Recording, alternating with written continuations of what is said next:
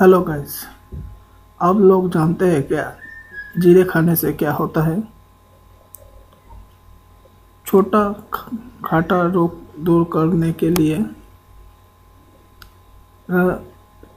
Kitchen में कुछ ऐसा चीज़ है। सिर्फ़ जानना पड़ेगा कौन सा चीज़ है। उस चीज़ का काम देगा। ठीक जैसा जीरा।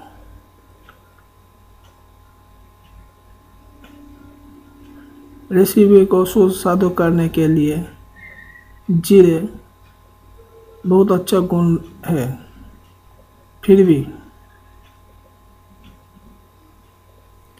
रनने में जीरे को भिजाना ज़रूरी है।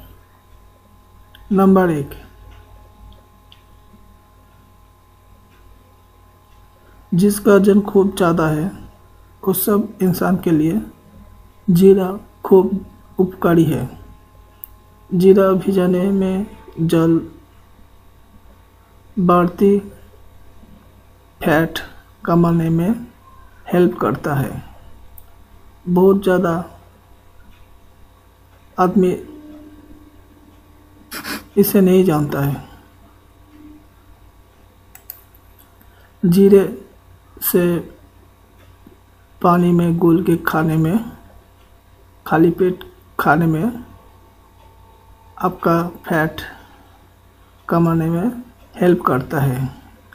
नंबर दो, जीरे को पानी से भिजा के उसके बाद उसको खाने में मेटाबॉलिज्म वृद्धि पाता है, जिसे कार्ब फैट बर्न होने में हेल्प करता है।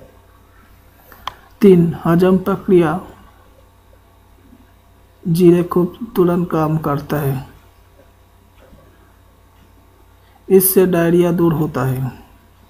नंबर चार, शरीर से टॉक्सिन दूर कर, करने में जीरे में जल पानी पीने में उपकार होता है। नंबर पाँच लीवर को अच्छे रखने में बहुत ज़्यादा हेल्प करता है। सो so, दोस्तों ये रहा आज का टॉपिक्स थैंक यू दोस्तों।